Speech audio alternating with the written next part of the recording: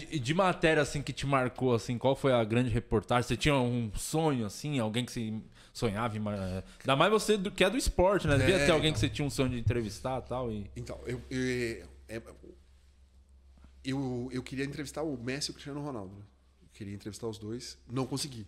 Porque eles não param.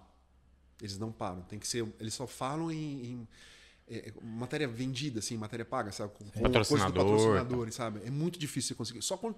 Ou eles falam quando eles são campeões, ou quando tá muito na merda que eles vão ter que falar. Aí eu, eu fiz jogos da Liga dos Campeões, né? Pela Globo e tal. E, e nenhuma vez eles pararam. Eu tava no jogo do gol de bicicleta do Cristiano Ronaldo. Tava na transmissão. Caralho. Foi o da Juventus lá? Contra a Juventus. Eu, eu, eu fiz a, a, a apresentação do Cristiano Ronaldo na Juventus, tava na coletiva. Cara, fiquei com dor no ombro, de tanto ele pedir assim, mas ele só respondia para italiano e para os portugueses. Não Caralho. respondeu para mim. Mas eu consegui entrevistar o Bolt, cara. Que eu Ah, achei é que foi foda, muito legal. foda, que foi é muito foda. legal. Não, mas porque isso é rápido, que valeu o treinamento, ficar aquecendo bem É, antes pra entrevistar né? o Ronaldo. Entrevistei, entrevistei, e assim, e, e, e concomitantemente com a, com a entrevista mais legal, eu fui pro Mundial de Berlim do atletismo, onde ele bateu o recorde mundial, o recorde mundial de 100 metros até hoje. E a- quando eu chego, né, no, no Mundial, no primeiro, no primeiro dia, tem uma entrevista coletiva do Bolt no Muro de Berlim. Tem um bar jamaicano no Muro de Berlim. Cara, que é alucinante, né? Foda. Aí vou tal, e o Bolt tal, dando entrevista, ele é fanfarrão pra caramba tal. E, eu, né, e tinha uma camiseta que eles deram pra todo mundo, a camiseta da Puma, assim, Who Faster. Eu falei assim, mas essa camiseta é de verdade? É Who Faster? Quem é Who Faster? Né, quem é o mais rápido? Falei, Você tem dúvida? Cara, o cara, é, cara Ele é- era- ele é um marketing pessoa, né? E naquela época, né, hoje em dia, a gente tem um equipamento que chama Live View, que é um tamanho de um celular, você põe na cintura assim, e sai, você faz ao vivo pro mundo com a câmera e tal. E na época a gente entrava por telefone, não tinha o Live View, você não como, tinha como entrar ao vivo. Aí eu tinha que entrar ao vivo por telefone. E eu fui pro lado de fora, entrar no Redação Sport TV com o Marcelo Barreto e tal. E falando da coletiva, que ele falou, nananana. Aí eu olhei pro lado, tinha um velhinho tomando a cerveja, assim, ó, só no balancinho do rei que tava tocando, assim. eu falei, cara, vou praticar meu inglês, vou falar com esse velho. Cheguei nele. E aí, tal, não sei o quê. Conhece o Bolt? Ele. O Bolt é meu filho. Eu falei, o quê? Não, não, eu sou pai do Bolt. Não, o senhor tem que me dar uma entrevista, então. Eu falei assim, não, não, só depois da final. Eu falei, ah, beleza. O senhor me promete? Prometo. Beleza.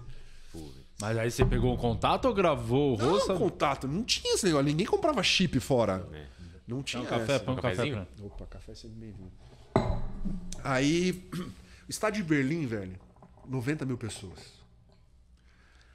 Aí pra achar esse velho, cowboy, pra achar esse homem no estádio, saiu eu pra um lado, sai a produtora pro outro, fica procurando, dá três, quatro voltas, não acho, não acho, não acho. Aí a menina me liga e fala assim, achei, achei, grita, berra e tal. Cara, a gente foi pro lugar, Falei pro meu cinegrafista, um carioca, Luiz Cláudio. Falei, Luiz, desculpa, cara, mas você não vai ver a prova do Bolt. Ele falou assim, não, fica tranquilo, irmão, pode deixar. é o carioca que fala suave, assim, você tem que focar ali no pai do Bolt, ali, na família dele. Ele, não, irmão, pô, pode deixar comigo, é meu trabalho. Quem que é? Não, aquele negão de boné ali e a mulher do lado. Eu falei assim, pô, já é, irmão, pode ficar tranquilo. Aí tá, prova, Bolt quebra o recorde mundial, 9,70 pedradinha. Aí na transmissão da Euro, Eurosport e tal, tá o Bolt abraçando o pai, a mãe e eu, assim, do lado com o microfone. assim, ó, Caralho. em cima, assim. que Sabe, foda. tá louco, né? Vários amigos meus da Europa falaram: o que você tá fazendo no Eurosport aí e tal? Daí, a, a minha produtora é a Ana Olivia, era, né? A Ana Olivia, que é a esposa do Carlos Gil, sabe? O repórter Globo que tava no Japão. Ela ligou pro Carlos Gil na hora, falou assim: não, mas você não acredita na matéria que a gente vai fazer com o pai do Bolt, não sei o quê, vibrando e tal. E aí eu vou fazer o quê? Deus ajuda quem decupa, né? Vou lá decupar o negócio depois da prova e tal. E começa assim, na- no pai do Bolt, no pai do Bolt. E eu eu li e falava, ah, caiu. Ele gravou o pai do Bolt e a mulher do lado errada. A mãe tava do outro lado. O pai e a, a amante dele. Cara, E aí? cara, daí eu fiz É a meu matéria trabalho, irmão. Só, só- Relaxa. fiz a matéria só falando das reações do pai. Ai. Só do pai, tentei, né? E aumentar a escala. Aham. Pra centralizar ele ali, Centralizar né? ele, Pra não tá? ficar estranho. E ele só falava, I'm electrify, I'm electrify. Ele só falava isso. Devia estar doido, jamaicano. só falava isso. E foi muito legal, porque É, na época, o Globo Esporte era feito é, no Rio, era só um Globo Esporte que tinha, né? Não sei se vocês lembram disso aí. Uhum, sim. Que era o, o- a Glenda e o Tino Marcos que apresentavam. Não tinha Globo Esporte em São Paulo. Foi antes do Thiago Leifert tra- vir para São Paulo, né? E estar com o Globo Esporte em São Paulo. E foi muito legal que eu fui pelo Sport TV e o Bassan foi pela Globo. Então, Bassan, tipo, é, é Bassan, o Showa e, e Tino Marcos. São os, os- os três caras do repórter do esporte. Não tem outro. São os três mais fortes. E ele foi fazer a matéria da final. E no Globo Esporte entrou a matéria dele e entrou a minha matéria, porque eu estava com o pai e com a mãe. Então, e é o Renato Ribeiro, que foi meu chefe, hoje é chefe lá do, do esporte, né, diretor de esporte, me mandou, mandou um e-mail, assim.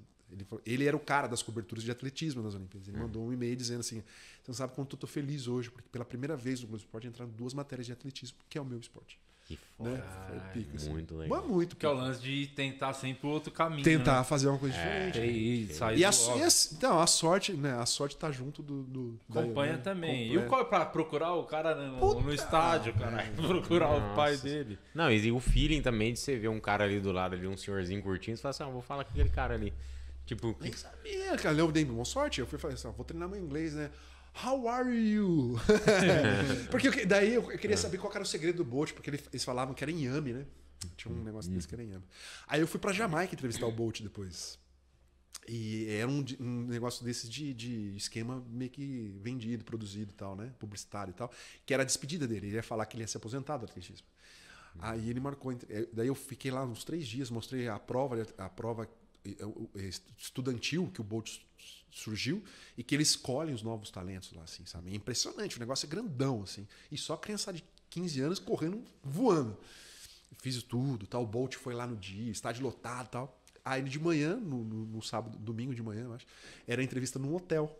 Então eles separavam lá 10 minutos para cada um se fazer entrevista no hotel.